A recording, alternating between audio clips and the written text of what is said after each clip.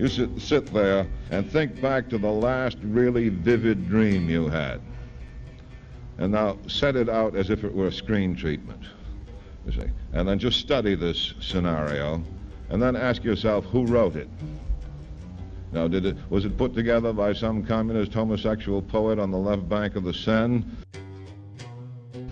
Uh, the fact is, we're all crazy. Uh, as soon as we take attention off our, off, off our conscious minds, an ape behind the brain begins to yammer. What Aldous Huxley called the endless idiot gibberish of the reverie. Uh, we're, we're, we're all ridiculous when we're not uh, being careful not to be. Uh, and poetry has to be about that, too. Try the analogy to music as one way of stating the poet's situation today. You know, a line may take us hours, maybe, yet if it does not seem a moment's thought, our stitching and unstitching has been not a firmly romantic composer. I won't mention anyone, but oh, maybe Brahms. Better get down upon your marrow bones and scrub a kitchen pavement or break stones like an old pauper in all kinds uh, of weather. You get to the end of a, a say, a symphonic uh, work, and you have about a five-minute parade of big chords. They come in, cut a thump, cut a thump, cut a thump, and it builds up and builds up and builds up, and finally it comes to rest with a full orchestral tonic. For to articulate sweet sounds together is to work harder than all these and yet be thought an idler by the noisy set of bankers, schoolmasters, and clergymen the martyrs call the world.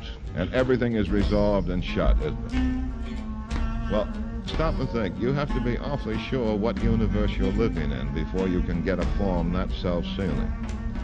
See, the tonic resolution is an act of certainty, I think. So it's a, it's a nice act of letting go, you know. The, uh, uh, I think he had the right enemy located in a way. Sir. Uh, they're, they're, uh, supposing Wordsworth had gone back to Tintern Abbey and found a supermarket and shopping center. You see. Uh, would, would, would his impressions then have come to a tonic resolution? I think he would have had to find another form to cool. express this. Uh, they have the courage of their convictions, but they haven't got the courage of their confusions. And I, uh, I, I, I, I, don't think you're being educated unless you're changing things. A dying fall, a slide out from under. You see, dissonances, disjunction is part of our lives. Uh, the tempi of our lives uh, are changed. And so you have to have forms of venture into confusion. Uh, you, you, you have to. You can't get entirely clarified. You can't get it all down in whatever you're talking that makes sense. Otherwise, you're, uh, you're not touching the age. I've, uh, I've been asked time and again by, by deuce ladies, you know, why is modern poetry so crazy? And there are a lot of answers to that, but I, uh, I don't know quite how I scored with them, but I gave myself some points one day when I said, uh, well, I'll tell you what, you sit, sit there in a Quaker meeting and think back to the last really vivid dream you had.